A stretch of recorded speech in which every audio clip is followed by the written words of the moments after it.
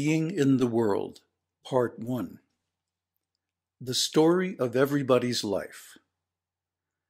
Ontology, the science of beingness, reveals deep insights about the nature of human life and experience. An ontological analysis of the human condition, our way of being, shows that our everyday social relations give us a particular kind of preoccupation with the world this care about the world involves us in a network of conditions and actions we do not choose, leading us away from our authentic self. Look up ontology, not just in the dictionary, or not only in the dictionary, but also on Wikipedia and on some philosophy sites. Get some background. Ontology is not well understood, and there's a reason for that. It is omitted from the curriculum of all government sponsored schools. Don't believe me? Look up John Taylor Gatto, and uh, he'll give you the background on that. How the school system was designed and why it was designed to be the way it is. Uh, they're trying to train up compliant factory workers. That's the program so you get trained to be a factory slave for over 12 years of your life, and you never looked into the design philosophy of the institution that you spent your childhood in. You need to remedy that. Real beingness is based on experience. Real knowledge is not coming from external authorities. They will only tell you what they want to tell you or what they want you to know to benefit them. Real knowledge is based on being, not knowing, not thinking, not doing, and certainly not having. For example, if somebody gives you a title, uh, you are the manager of so and so department, that's not your being. That's something you have. And even if you do it well, that still doesn't affect who you are.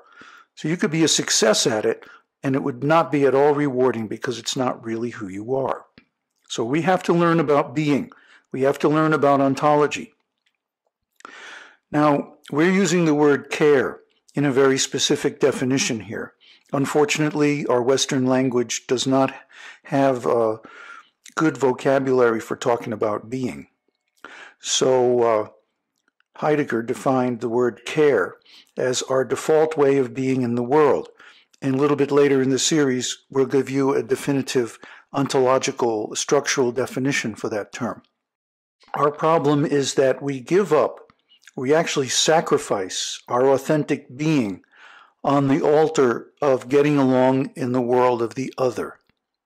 And that means we give up who we really are to imitate something external to get rewards. It's convenient. It's easier, or we think it's easier, than being our authentic self. But of course, it's not satisfying. It's not going to make us happy. And it's not going to make us successful because when we imitate, we become a slave. We become passive. And you can't be successful. You can't win in life by imitating.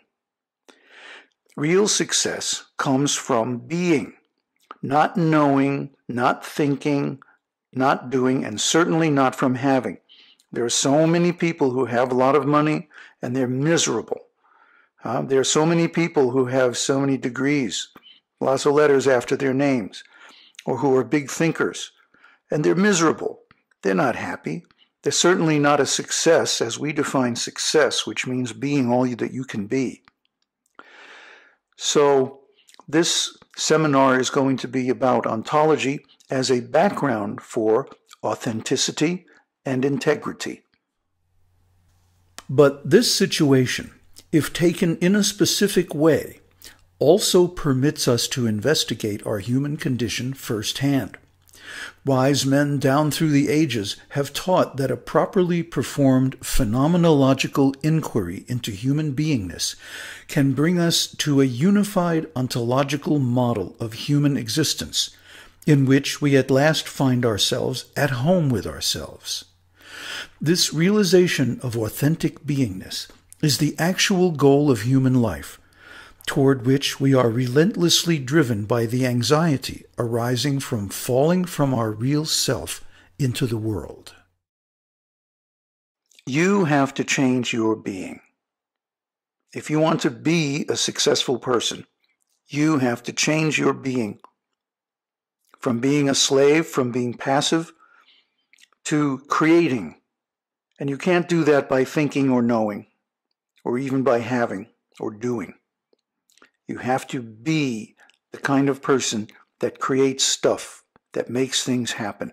Nobody can do this for you. We can't give you some information and then you just duplicate that information and suddenly you're a success. No, it's not going to work. We have to begin this process of phenomenological inquiry. Look up phenomenological. Again, not just in the dictionary, but in philosophy sites that specialize in these topics. Get some background on phenomenological inquiry. It means looking into our experience, seeing what's really there, not just taking somebody's word for it, but verifying everything in our own life. You have to look for yourself to find the phenomena we talk about in your own experience. Otherwise, it's not going to be yours. Don't take what we say as knowledge, as information. Take it as an opportunity to look in yourself, look at your own life, and find what we're talking about in your experience. And if you can't find it, then create it. When you attain a unified model of human existence, an ontological model, that means you have attained complete self realization. And what that means is eternal individuality. We're going to be explaining these concepts as we go along. These are very advanced concepts. Don't have time to cover them completely now. But just know that without ontology, there's no way to attain these goals. We want you to feel at home with yourself. That means we're grounded in our own field of consciousness and activities, grounded in our real being, who we really are, who nobody else could be. That's authentic beingness. When you are something that no one can imitate. Falling into the world. We are not alone. To exist means to be in relationship. Even to be alone implies the possibility of being in relation with others. In being with others, we typically maintain ourselves in the being of the other. That is, we see ourselves in the mirror of our actions and relations with others in the world. We lose our real self in this fundamentally inauthentic mode of being, because none of these mirrors are true. They all reflect a distorted and incomplete image of our real self. If you exist, you are in relation to other beings, to things, to processes, to the world. And the process is that we lose our real self in the world because the world overwhelms us. It makes us passive. It makes us an object instead of a person we lose so many of our actual capabilities uh, because we're, again, we're imitating externally instead of creating internally. So you have to create your own prosperity by creating your being as a person who wins. How can you win if you're not being authentic? How is it possible? If you're not being your real self, you will not have all your energy available. You will not have your complete intelligence or all your talents you will not be able to access the controls that determine who you are. Nobody can do this for you. No one sees you as you really are. And in our default state of being, you don't even see yourself as you really are. You see yourself in terms of the other, in terms of the categories and boundaries set by the others who fill our space up with false claims about who we are. So, our everyday mode of being, as we actually experience ourselves, is being in the world. We are not spectators of life from some transcendental perspective, but deeply involved in it. We cannot meaningfully conceive of our being apart from the world in which we exist. Indeed, the world is the context that gives our being its meaning and value. Yet we become overwhelmed and lose ourselves in the complex relations and reactions of living in the world. In this condition, how can we recover our authentic being? Dualism means a fixed way of being. Dualism has been the default philosophical model for at least the last two or three thousand years. Dualism leads us to accept a fixed way of being. There's us and the world. And who's going to win? Of course, the world. The world is bigger than we are. It's stronger. It's more complicated, has more resources. We're involved in the world. We're in relationship. And that means that we have to care about it, even though we don't get to choose the circumstances. That's part of the horror of being in the world, that we don't get to choose the situations, but we have to care. And we have to make them turn out right, whatever that means to you. That's the context in which we live that gives our life its meaning and value. Unfortunately, the context is determined or controlled by the world. Thinking about it will not help. Thinking about it only makes it worse, because then we get a whole bunch of claims that aren't grounded in anything real. The only real solution is changing our being. Changing our being means coming back to our original self. And that requires a process because in the world, our default being is inauthentic. So we have to find our authentic being because we lose ourselves by identifying with externals. Uh, you go to the movies, you see some hero, some action movie, and then you walk out of there feeling like a million bucks because you identify with something external, but that's not really you. You have to find your real self, and that's only possible with a phenomenological process. One of the meanings is in the first person, on the field, not in the third person or from the stands like a commentator. That's how we can recover our authentic being.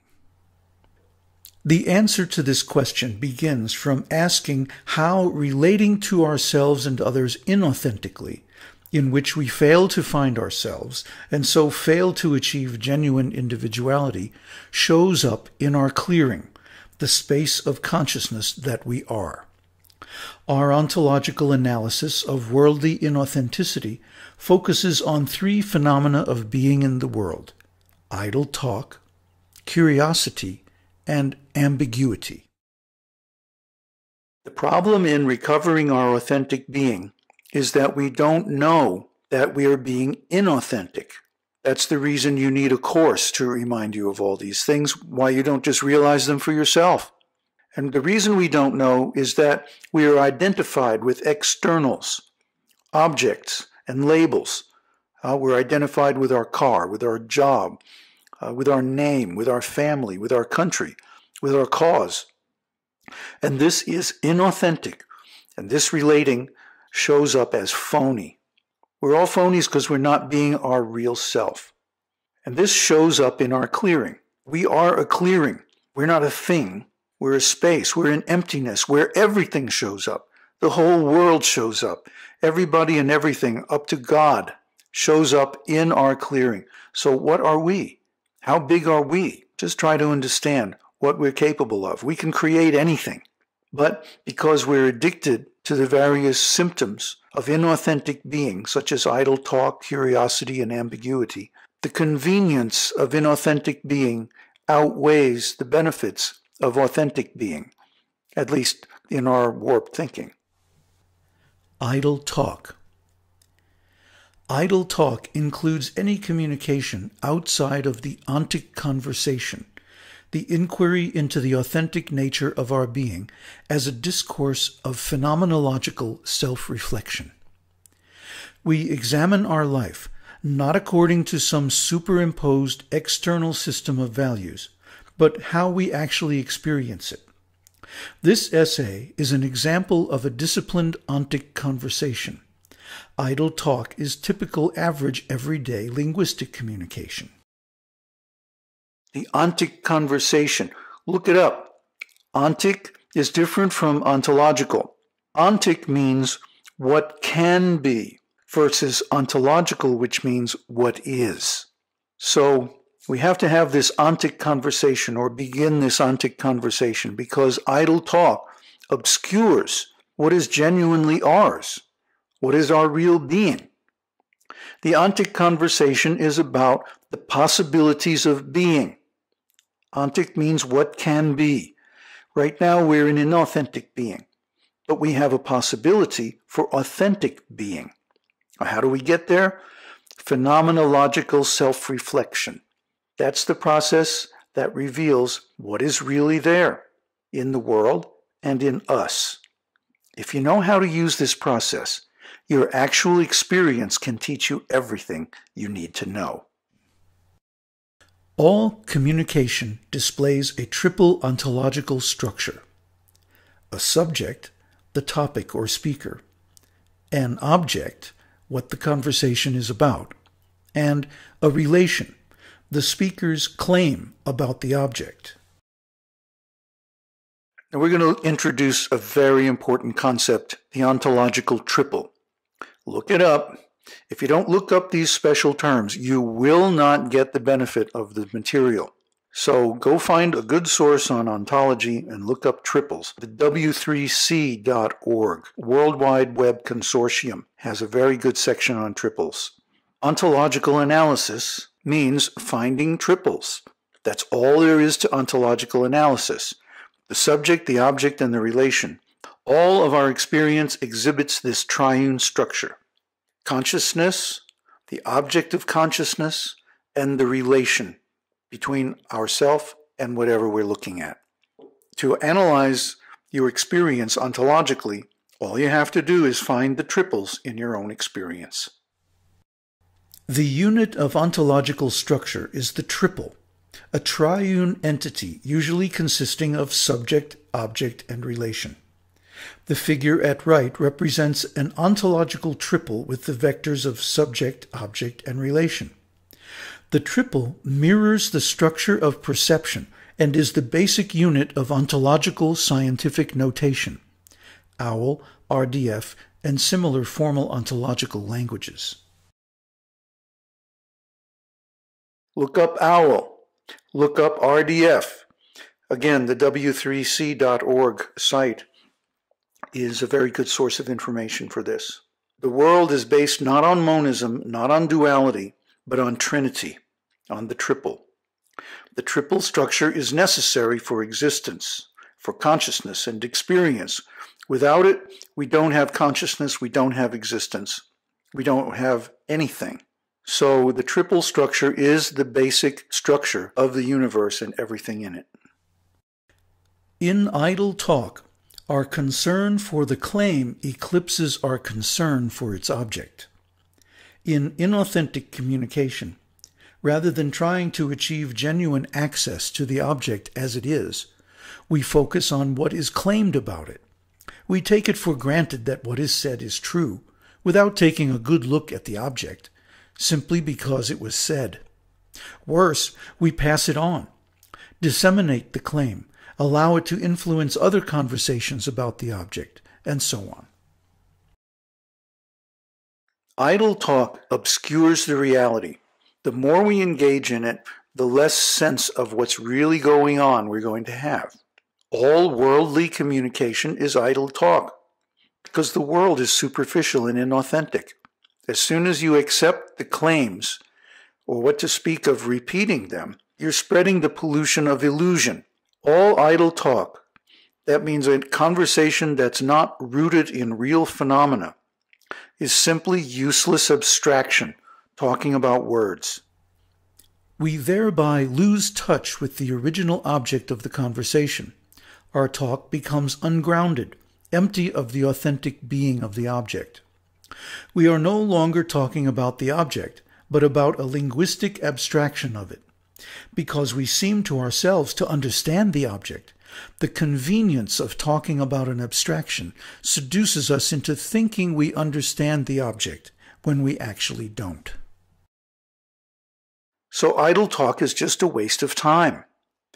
Linguistic abstractions and the models made from them and the various logical processes that we can subject them to, are just fantasy. The reason we engage in them is that we are seduced by the convenience of abstractions. It's much easier to talk about words than to get into the reality of the subject. So we think we understand the object because we have words about it, but actually we only know the claim. By conveniently providing the illusion of complete understanding, idle talk closes off its objects rather than revealing them. It also discourages the possibility of future investigation of the object, because after all, we already know all about it. This impersonal, uprooted misunderstanding, often characterized by frequent misuse of the word they, dominates our everyday relations with ourselves, the world, and others, guaranteeing that we will remain inauthentic and far from actual individuality. Everything we think we know is just a claim, because idle talk is just about words. Idle talk guarantees that you will not understand what you're talking about. You will not be able to apply it. It is not grounded. It's not real knowledge. It's simply speculation, abstraction. This leads to impersonalism, treating people as objects. You've been treated as an impersonal object. How did you like it? You've also done it to others. So we have to see that it's not they, it's not the world that is doing it to us, whatever it might be for you. We're trained to do it to ourselves by schooling, by the pressure of society, and by so many other people who insist on some external standard for our behavior curiouser and curiouser. Such an uprooted understanding of the world is detached from any particular task that might focus us upon objects as they are in themselves, thus the term idle talk. This type of conversation tends to float away from our immediate environment towards the distant, the alien, and the exotic. And if the focus of idle talk is the novel, its primary concern tends to be with its novelty. All we have in the world is claims about claims about claims. None of it is based on actual experience or evidence. Any unverifiable claim is only curiosity, it's just hearsay. It's not a basis of uh, evidence that we can use to actually get things done. That's why it's called idle talk.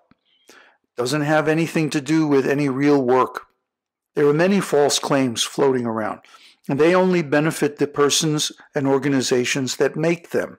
There's a lot of propaganda in the world. There's a lot of disinformation.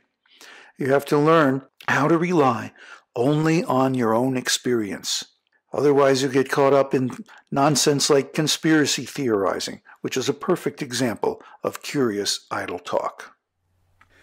Thus, we continually seek new objects of conversation, not in order to grasp them in their reality, but merely to stimulate ourselves with their newness, so we seek novelty with increasing force and velocity.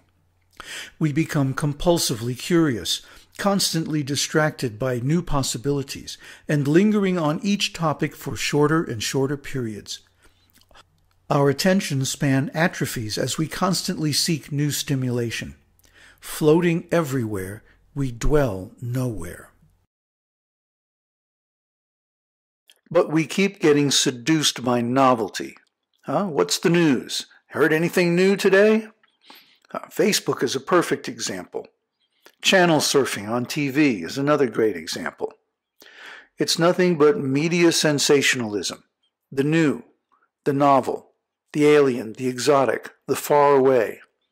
But being seduced by media results in a hypnotic alpha state where we're detached from our experience and we're seeing everything in terms of externals being systematically detached from our environment by a swelling tide of abstractions, we cannot distinguish genuine comprehension from counterfeit.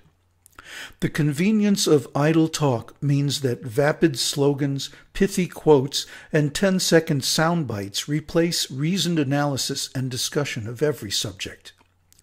Thus, in the world, superficial understanding is universally acclaimed as deep, and real understanding looks eccentric and marginalized. This habit of curiosity sabotages in depth discussion of any topic. But deep study is required for competence and excellence. You are not going to be a success unless you are very, very good at something. You have to seek out the authentic sources because they provide some real substance, not just empty claims.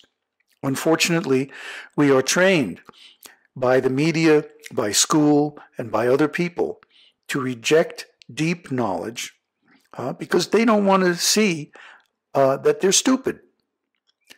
So anybody that shows up as being smart gets hassled. That allows them to retain the illusion that they understand, but actually all they have is idle talk. This superficiality is not deliberate. What intelligent individual would plan such a monstrous misunderstanding? But in a social world dominated by idle talk and curiosity, it permeates the environment. It creates a general mood of groupthink, our inheritance from our fellows and culture, into which we always find ourselves thrown. Do you think that the government is in control? Do you think that big business is in control? No. You think the bankers are in control? Heck no. They are all victims. No one is actually in control. No human being, anyway. So, on the human level, there is no real controller, although certain people and organizations like to pose as the controller. This means that you can take control of your life, your environment, your meaning, your identity, because everybody else is in illusion. The whole world is just a big illusion machine run by curiosity and idle talk. Everybody is full of groupthink. They've been trained by school, advertising, news, entertainment, media, you can rise above this. You can become a success, but you're going to have to change your being. The feeling of falling. These three interconnected existential characteristics idle talk, curiosity, and the ambiguity of superficiality reveal a basic kind of everyday being common to all of us, falling into the world. We become lost in the public world of the others. We fall away from our authentic selves and lose the potential for being with integrity, wholeness. These three symptoms of idle talk, curiosity, and the ambiguity that results from them destroys real meaning. All we have is unverifiable claims. We can never be sure whether they're right or wrong. So we lose ourselves in a jungle of meaningless idle talk. We don't know what's right, what's wrong, what's true, what's false. It's all ambiguous. We have to find a new standard for integrity, and that means wholeness, being complete and whole as a person, a human being in the full sense of the word, with all of the qualities and activities of a human being. It doesn't refer to some arbitrary external moral standard. In short, our average everyday being shows up as inauthentic. We are uprooted from any genuine concern for the world and fellow human beings by our absorption in idle talk. We waste our precious time indulging in meaningless entertainment instead of taking action to change ourselves and improve the world. In the process, we are also uprooted from any genuine self understanding. Thus, we cannot grasp which possibilities are genuinely our own, as distinct from possibilities that anybody can have. In the world, inauthentic being is the norm. If you try to become authentic, you'll be punished. You have to have a support network. That's what we provide. People waste years of their lives playing computer games, and one day the company goes under, and that's the end of the whole thing. It's happened so many times now. You think it's not going to happen again? Don't waste your time. Or you become an anybody person An anybody person means someone who only has access to possibilities that are available to anyone. Anyone can go down to the store and buy stuff. Huh? You have 150 different varieties of toilet paper lining the shelves. Is that really choice? No, it's not an authentic choice because it doesn't come from you. Anybody can choose them. Anybody can go down and buy a car. Anybody can drive on the roads. Anybody can watch TV or play video games. What are the things that only you can be? That's your authentic being, and that's what we're here to help you find. Falling into detachment from genuine self understanding permeates our philosophies as well as our everyday life. Indeed, human beings, for whom an understanding of their own being is natural, often accept philosophical traditions that systematically repress any real understanding of authentic being. Thus, instead of relentlessly pursuing the phenomenological methodology of ontic self reflection that leads to authentic being, we content ourselves with convenient, prepackaged designations and rules for being and action made by others that have nothing to do with who we are for ourselves. Philosophy is not going to help you because most philosophy is inauthentic and it represses our authenticity. They want us to subscribe to some ism and give us an arbitrary set of beingness and rules, what you're allowed to be and what you're not allowed to be. Though people accept these rules, they were made by others long ago, far away, in some completely different circumstance, in some completely different culture and time. They're irrelevant. They cannot guide our behavior today. They're just authority, not real self awareness. Any real philosophy is going to be based on self awareness and your experience. Otherwise, it's just going to lead you astray. Various philosophies tend to interpret human beingness as if people were non living objects. Such ontological errors naturally emerge both from absorption in practical tasks and from the peculiar necessities of philosophical speculation. In our everyday work, inanimate objects lie temptingly available as paradigms of existence. When things need to be done, it is overwhelmingly convenient to treat human beings in the same way. Similarly, in theoretical contemplation, both objects and human beings appear as abstract models, completely detached from their contexts. Such objectification and elementalism are simply convenient shortcuts to ostensibly practical but erroneous conclusions about our beingness. Look up elementalism and objectification.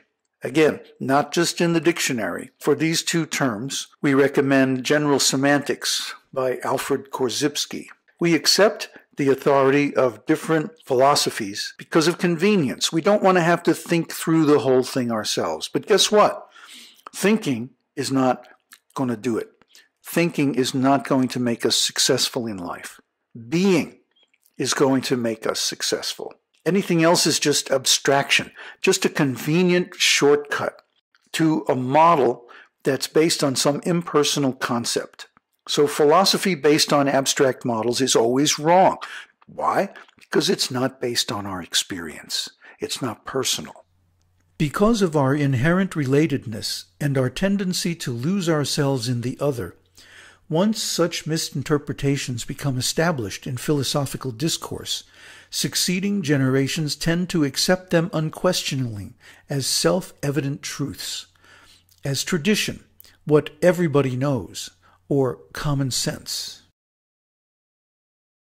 Tradition is idle talk.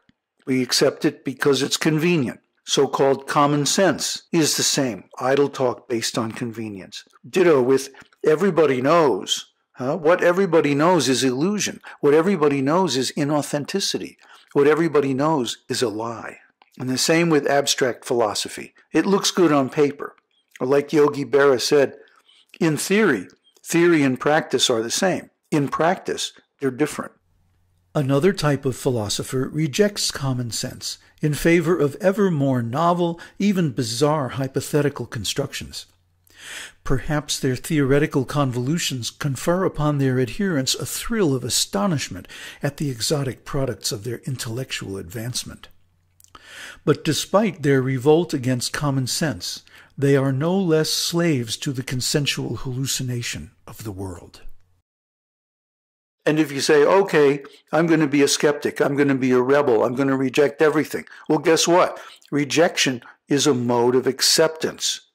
You have to accept and acknowledge the reality of something before you can reject it. About the philosophers who simply spin webs of complex abstractions, the more far out the better. They make your head spin, but it's not the truth.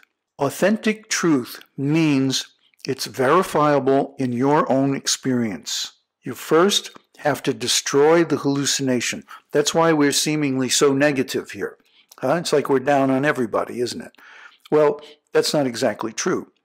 But what we want to do here is destroy the illusion that we think we know what reality is, or that we think we know what truth or authenticity or integrity because we don't. Unless we find that truth in our own experience, it's not really ours. It's not really coming from our being. Real philosophy must be grounded in phenomenological ontological inquiry into human beingness in the first person, as lived or on the field, rather than in the third person, as a spectator in the stands, or as theory and speculation. No one can tell you the truth. The truth is bigger than words. So we're not here to give you information. That's not what this course is about. This course is about giving you examples of things that you can then go verify in your own experience. Because only you can find out the truth by looking for yourself. And if you look for yourself, you will see the things we're talking about. They're real. So we need a real philosophy that gives useful conclusions, not abstract, not phony, something we can base our actions on So that's practical, that works, that lets us win. Because that's what this is about. This is about being successful in a difficult time.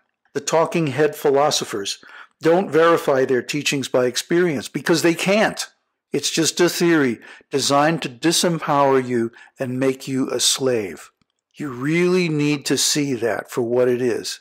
I know it's uncomfortable, but don't worry. We're going to give you some positive things that you can base your real being on, and you'll see for yourself that those work. Exercises and questions. Exercises. Observe and verify in your own experience the following idle talk, compulsive curiosity, ambiguity due to groupthink, objectification, elementalism, ontological triples.